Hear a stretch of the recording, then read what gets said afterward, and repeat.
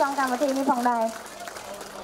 សភាយុវពាណិជ្ជករអន្តរជាតិកម្ពុជាសាខាចតុមុខរៀបចំកម្មវិធីប្រកួតបណ្ណាល័យដែលជួសជុលហើយនិងសម្ភារៈសិក្សាដល់កុមារចំនួន700នាក់នៅក្នុងសាលាបឋមសិក្សាត្រពាំងកក់ភូមិអង្គក្រឡាញ់ឃុំជាងទងស្រុកត្រាំកក់ខេត្តតាកែវព្រមទាំងប្រកួតជូននៅបន្ទប់ទឹកចំនួន5ទៅដល់គ្រួសារដែលទីតក្រផងដែរនៅថ្ងៃទី24ខែមិថុនាឆ្នាំ2017 លោកហេងហ៊ួនប្រធានសាខាចតុមុខនៃសភាយុវពាណិជ្ជករអន្តរជាតិកម្ពុជាសាខាចតុមុខមានប្រសាសន៍ថាយើងចង់ចែករំលែកនៅសេចក្តីស្រឡាញ់លើការសិក្សាអប់រំដោយប្រម៉ែប្រមូលយកសិភៅអានចាចា មកប្រើសារជាថ្មី ហើយធ្វើការបរិច្ចាគទៅឲ្យបណ្ណាល័យក្នុងសហគមន៍ គោលដៅនៃគម្រោងនេះគឺដើម្បីផ្សព្វផ្សាយនៅគុណសម្បត្តិនៃអក្សរកម្មនិងការអប់រំក៏ដូចជាដើម្បីយកសិភៅអានចាចាមកប្រើប្រាស់ជាថ្មីតាមរយៈការចែកចាយសិភៅទាំងនោះទៅកាន់ក្មេងៗដែលមានទេពកោសល្យដែលកំពុងជួបនៅបញ្ហាកង្វះសិភៅសម្រាប់អាន។ គម្រោងនីតិសោតត្រូវបានបង្កើតឡើងដើម្បីផលប្រយោជន៍សប្បុរសធម៌និងសិស្សដែលកំពុងជួបកង្វះខាតក្នុងតំបន់នោះផងដែរ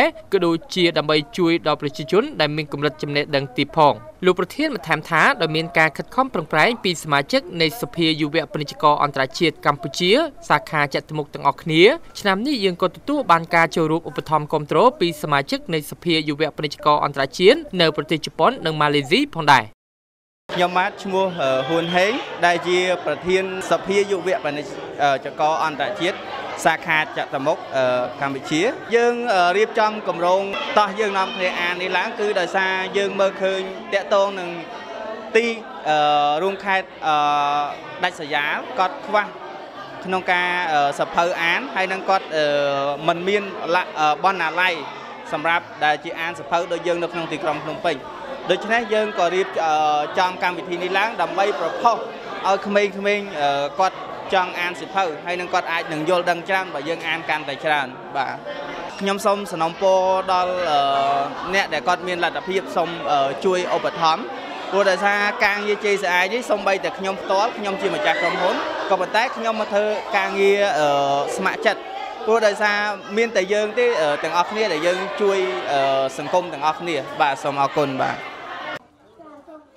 សូមបញ្ជាក់ថាសភាយុវពាណិជ្ជករអន្តរជាតិកម្ពុជាគឺជាអង្គការអន្តរជាតិមិនរកប្រាក់ចំណេញមួយដែលប្រមូលផ្ដុំដោយយុវពាណិជ្ជករដែលមានអាយុចន្លោះពី18ដល់40ឆ្នាំដែលបង្កើតឡើងនៅឆ្នាំ2011ហើយបច្ចុប្បន្នមានសមាជិកសមាជិកាជិត200នាក់និងមានសាខាចំនួន3នៅទីក្រុងភ្នំពេញគឺសាខាចតុមុខសាខាភ្នំពេញនិងសាខាមេគង្គ